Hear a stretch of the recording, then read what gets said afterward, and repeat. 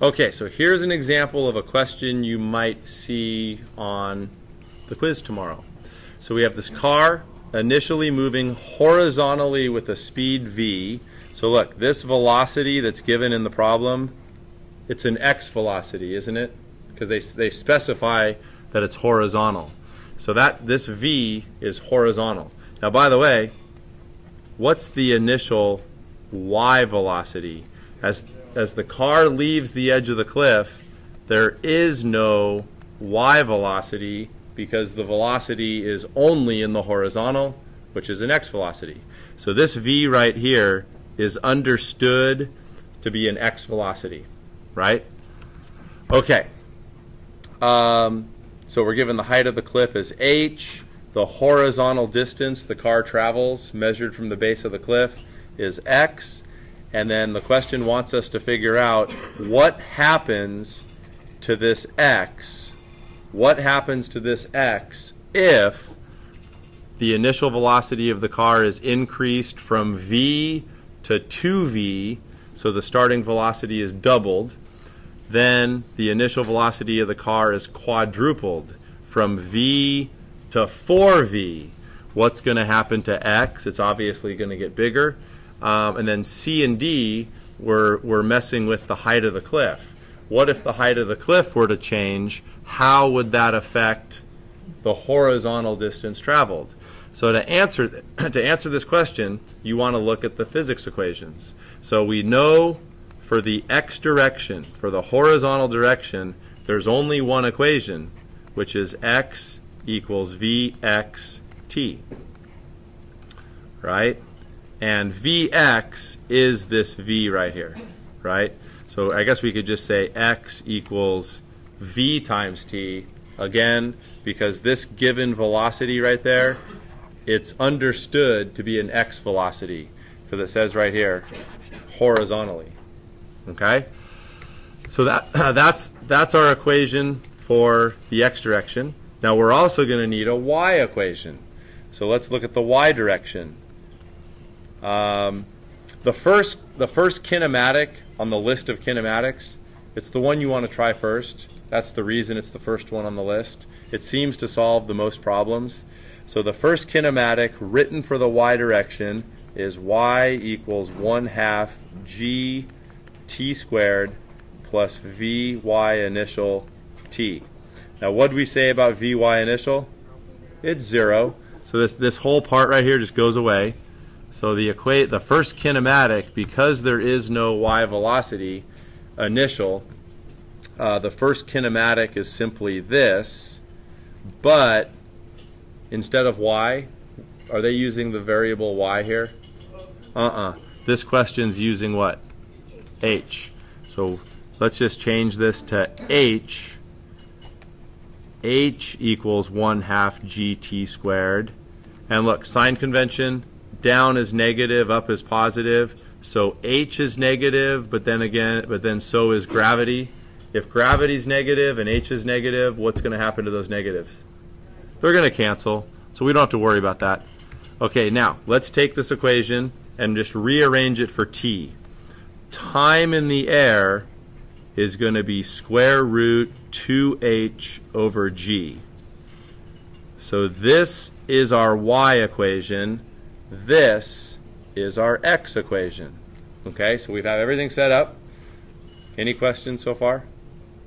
Okay, so let's deal with the first two, A and B. Now, A and B, what we're messing with is the, is the initial velocity the car leaves the edge of the cliff with.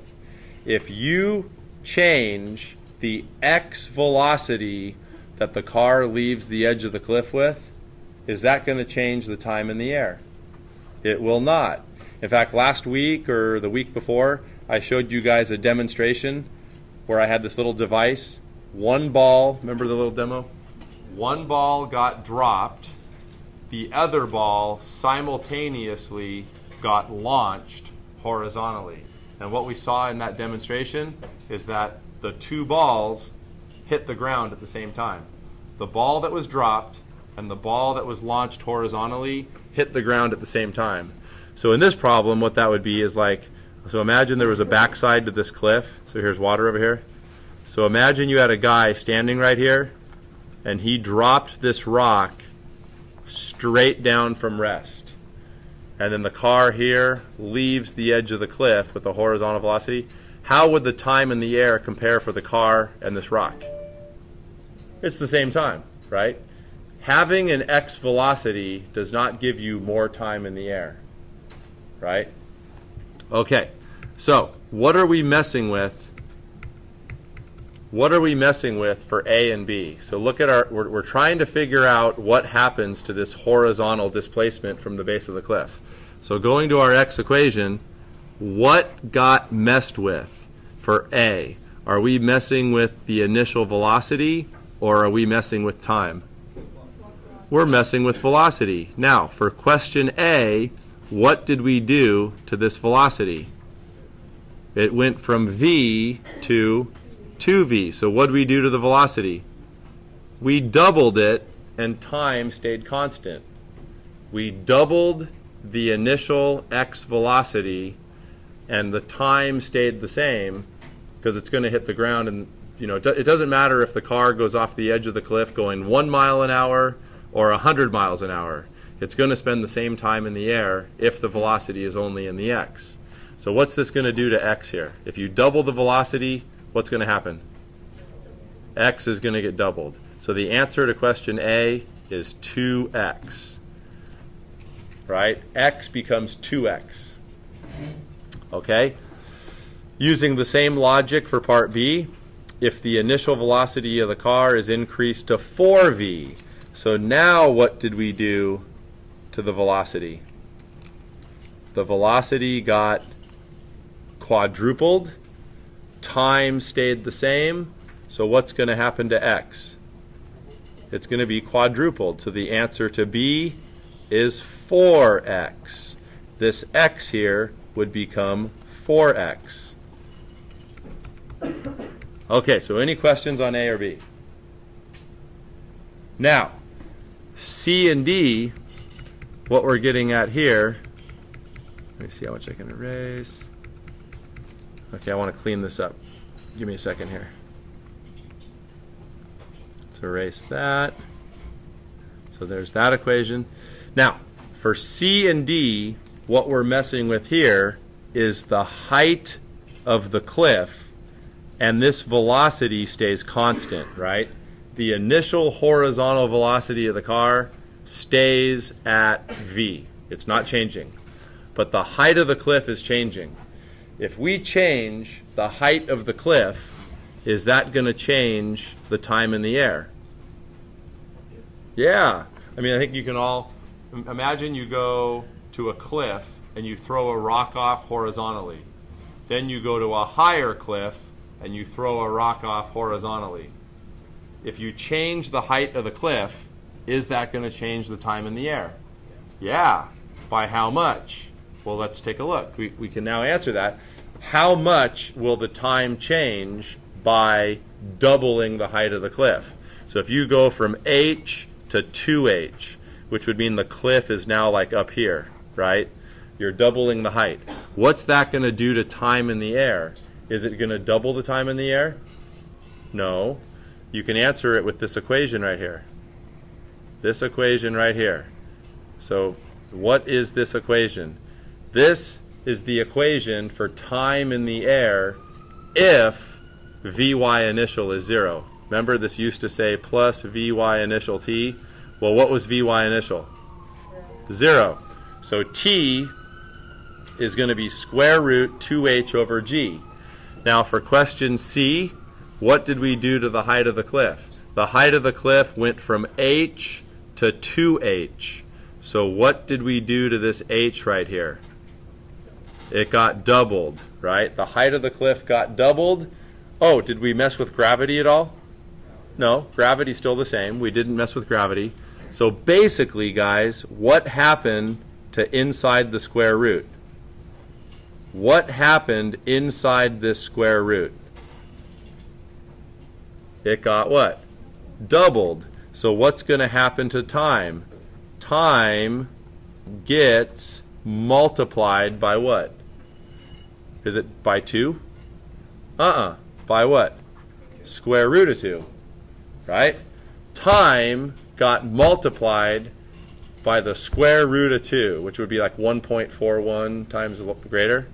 So now go up here. So if, if time gets multiplied by the square root of 2, come up to this equation. What's going to happen to x?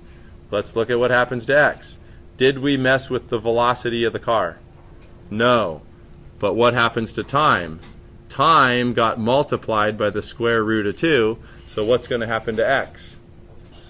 It's going to be multiplied by the square root of 2. So the answer to C is uh, square root 2 x. That's the answer. Or you could say x root 2. All right. Now, what if the height of the cliff is changed to 4h? So, so now we're going from h to 4h. So, what happened to h? What did we do to the height of the cliff? Times it by 4. Gravity stayed the same. So what happened inside this square root here? Inside the square root got multiplied by what? 4. So time gets multiplied by square root of 4, which is the same as multiplying by what? 2. Time got doubled, so take that up here, and let's figure out what happened to x. So again, velocity stayed the same. Velocity stays the same. Time is now multiplied by 2. Quadrupling the height of the cliff will double the time in the air. So if the time got doubled, that means x gets doubled. So the answer to D is 2x. It'll go twice as far.